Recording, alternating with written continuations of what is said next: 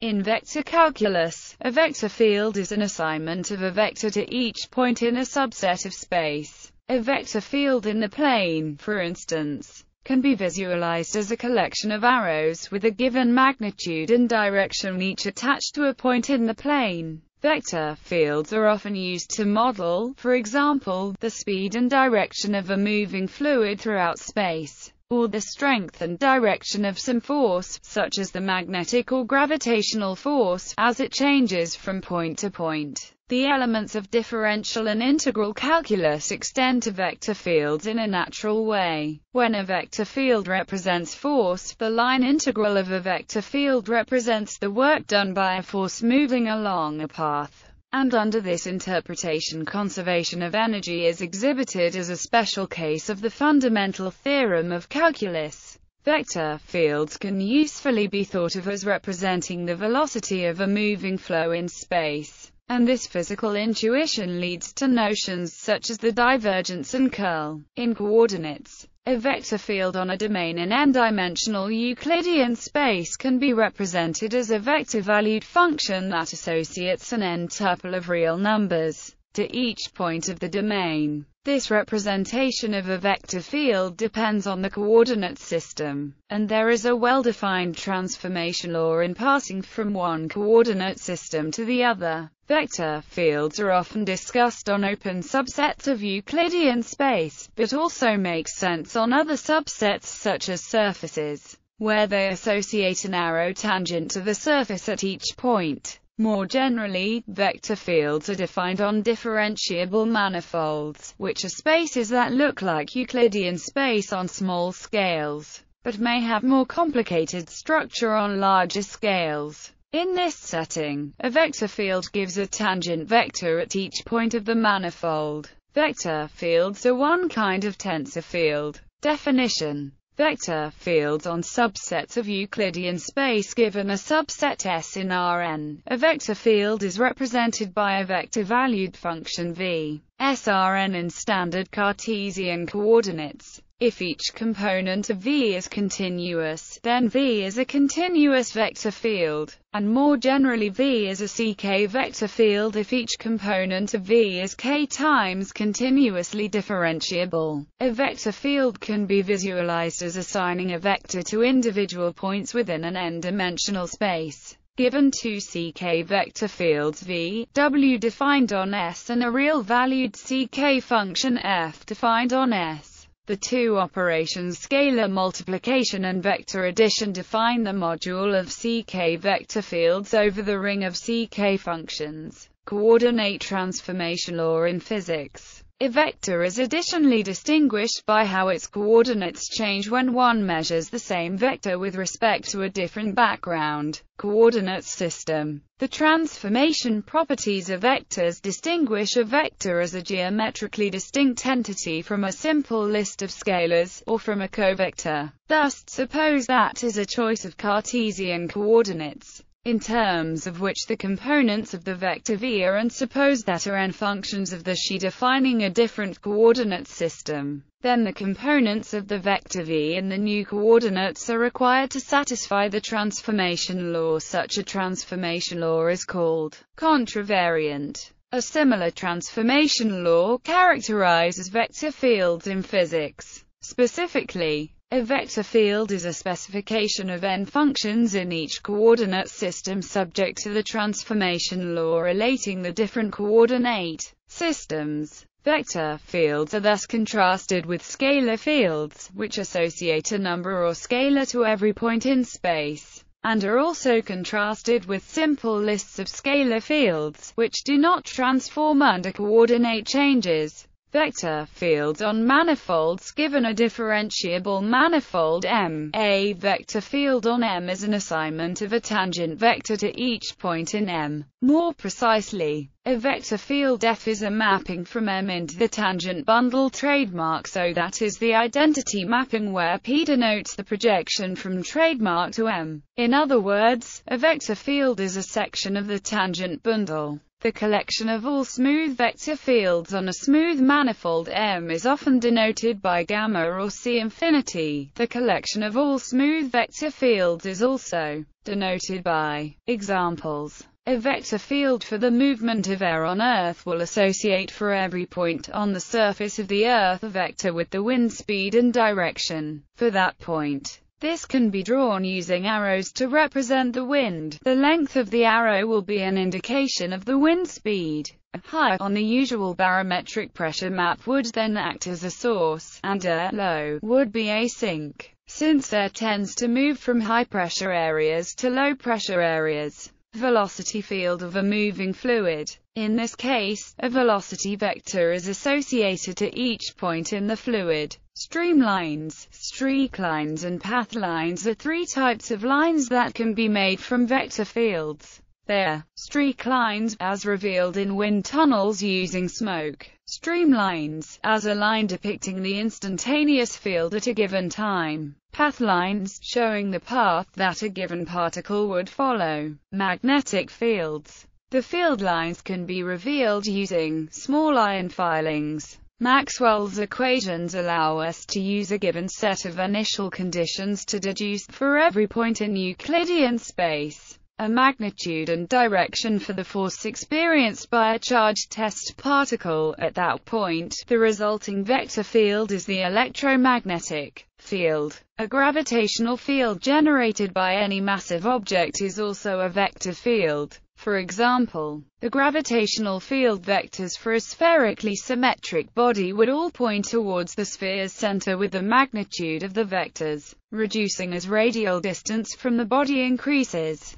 Gradient field vector fields can be constructed out of scalar fields using the gradient operator. A vector field V defined on a set S is called a gradient field or a conservative field if there exists a real-valued function f on S such that the associated flow is called the gradient flow, and is used in the method of gradient descent. The path integral along any closed curve gamma equals gamma in a conservative field is zero, where the angular brackets and comma denote the inner product of two vectors is a one-form rather than a vector in the elementary sense. Central field AC infinity vector field over Rn 0 is called a central field if where O is the orthogonal group. We say central fields are invariant under orthogonal transformations around zero. The point zero is called the center of the field, since orthogonal transformations are actually rotations and reflections.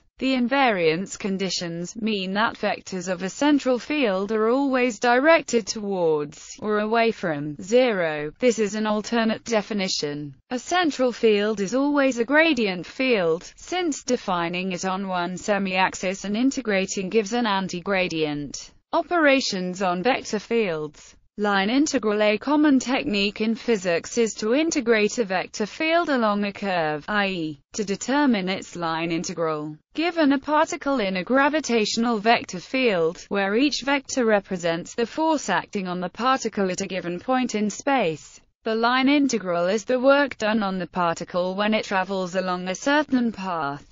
The line integral is constructed analogously to the Riemann integral and it exists if the curve is rectifiable and the vector field is continuous. Given a vector field V and a curve gamma parametrized by a, b, the line integral is defined as divergence. The divergence of a vector field on Euclidean space is a function in three dimensions. The divergence is defined by with the obvious generalization to arbitrary dimensions. The divergence at a point represents the degree to which a small volume around the point is a source or a sink for the vector flow, a result which is made precise by the divergence theorem. The divergence can also be defined on a Riemannian manifold, that is, a manifold with a Riemannian metric that measures the length of vectors. Curl The curl is an operation which takes a vector field and produces another vector field. The curl is defined only in three dimensions, but some properties of the curl can be captured in higher dimensions with the exterior derivative. In three dimensions, it is defined by the curl measures the density of the angular momentum of the vector flow at her point, that is,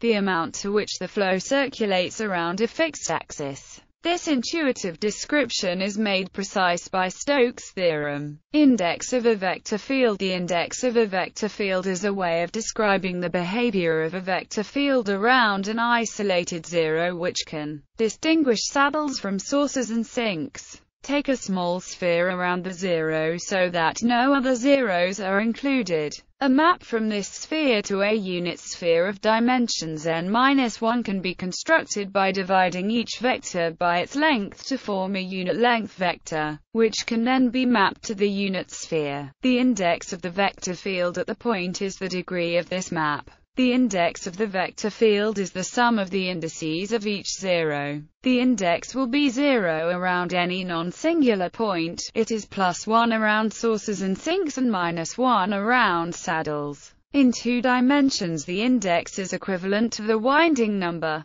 For an ordinary sphere in three-dimension space it can be shown that the index of any vector field on the sphere must be 2. This leads to the hairy-ball theorem which shows that every such vector field must have a zero. This theorem generalizes to the Poincare-Hopf theorem which relates the index to the Euler characteristic of the space. History Vector fields arose originally in classical field theory in 19th-century physics, specifically in magnetism. They were formalized by Michael Faraday, in his concept of lines of force, who emphasized that the field itself should be an object of study which it has become throughout physics in the form of field theory. In addition to the magnetic field, other phenomena that were modeled as vector fields by Faraday include the electrical field and light field. Flow curves. Consider the flow of a fluid through a region of space. At any given time, any point of the fluid has a particular velocity associated with it, thus there is a vector field associated to any flow.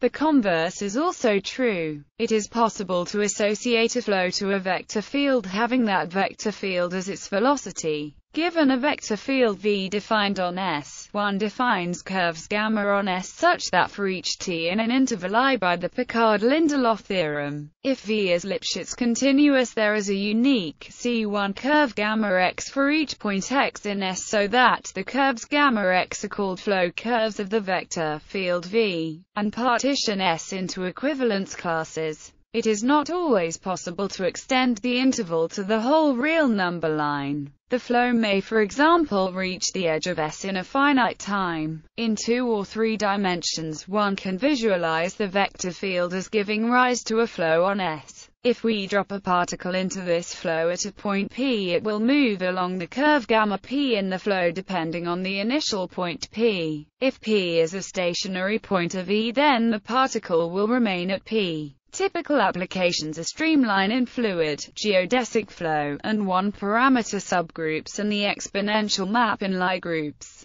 Complete vector fields A vector field is complete if its flow curves exist for all time. In particular, compactly supported vector fields on a manifold are complete. If X is a complete vector field on M, then the one-parameter group of diffeomorphisms generated by the flow along X exists for all time. Difference between scalar and vector field. The difference between a scalar and vector field is not that a scalar is just one number while a vector is several numbers. The difference is in how their coordinates respond to coordinate transformations. A scalar is a coordinate whereas a vector can be described by coordinates, but it is not the collection of its coordinates. Example 1 This example is about two-dimensional Euclidean space where we examine Euclidean and polar coordinates. Thus x equals r cos theta and y equals r sin theta and also r2 equals x2 plus y2, cos theta equals by 1 half and sin theta equals y 1 half. Suppose we have a scalar field which is given by the constant function 1, and a vector field which attaches a vector in the r direction with length 1 to each point.